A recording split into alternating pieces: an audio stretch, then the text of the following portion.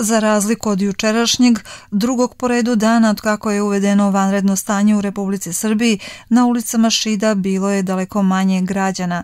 Nekolicina je uglavnom obavljala neophodne obaveze. Parkovi su bez šetača, škole bez učenika, igrališta bez dece, a železnička i autobuska stanica bez putnika. I u apotekama je manje gužve, a ovom prilikom saznali smo šta se tokom prethodnih dana najviše kupovalo. Ono što se prodaje su neki antipiretici, lekovi protiv bolova, ovi stariji dopunjavaju svoju hroničnu terapiju, kućne apoteke. E sad, za čim je najveća pomama, to su sredstva za dezinfekciju, asepsoli, alkoholi, E, hiruž, zaštitne maske, rukavice, to se traži, toga nažalost nema, bile su neke male količine koje smo razdelili onako podjednako svima pomalo i za sad je to to. Da li ćete dobijati?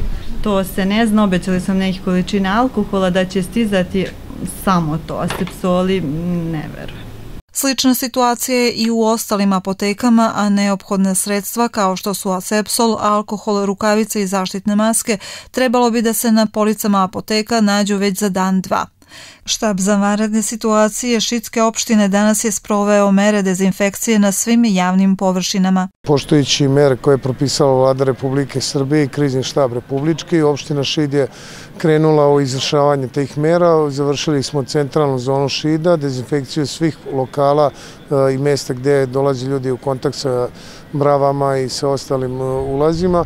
Trenutno se radi e, isto dezinfekcija svih ulaza u kolektivnom stanovanju u naselju Jelici i u naselju Istok. Isto tako ovaj, naše ekipe su raspoređene da to urade do kraja dana i u ostalim svim selima naše opštine, kao i autobuska, železnička stanica i druge površine i mesta gde dolazi veliki broj ljudi u kontakt sa drugim ljudima.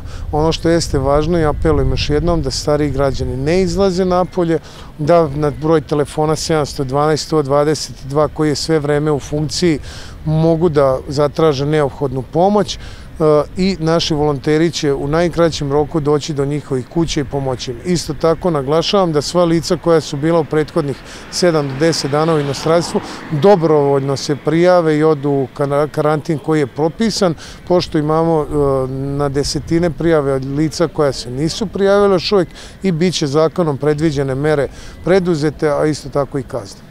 Kako smo saznali, u Šidu za sada nema zaraženih koronavirusom, ali bez obzira na to, svim građanima savjetuje se da ostanu kod kuće i tako sačuvaju svoje i zdravlje svojih najmilijih.